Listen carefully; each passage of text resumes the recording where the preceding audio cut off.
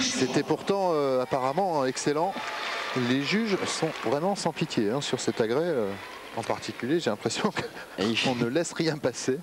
il ne faut rien laisser passer car il faut bien départager ces gymnastes qui sont tous très méritants et très courageux. Yuki Yoshimura.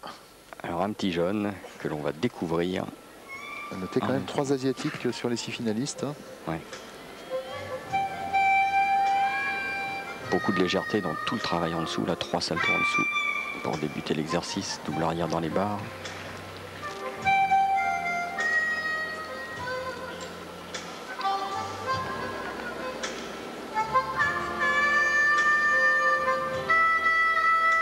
Demi-tour extérieur.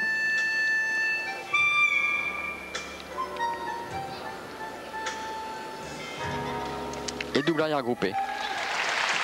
C'était plus simple, mais c'était net. Bondarenko m'a semblé un tout petit peu meilleur. Mais alors à ce Oui, niveau-là, le- je ne sais plus euh, si on est capable de faire la différence sans être juge.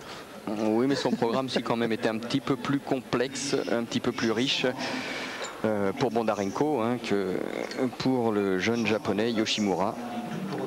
Mais c'était euh, très très bien exécuté.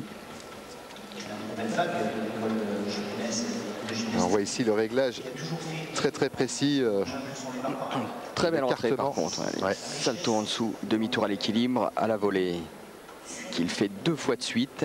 Et il enchaîne avec un troisième salto en dessous, bras tendu. L'alignement du corps est excellent dans cette descente. Double arrière groupé, pas de faute d'exécution, les genoux bien serrés, la pointe allongée. C'est beau ça quand même. Reprise à l'appui brachial et enchaînement immédiat.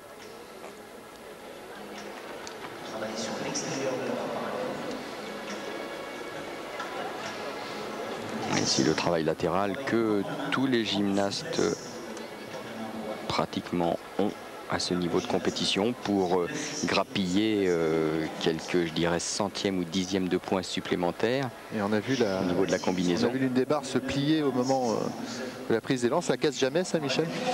Euh, c'est déjà arrivé, mais c'est très très rare. Et lorsque ça casse, c'est beaucoup plus au niveau de ici, de la jointure. Excellente note pour euh, Yuki Yoshimura. Et 9,612, il fait la différence sur l'exécution uniquement.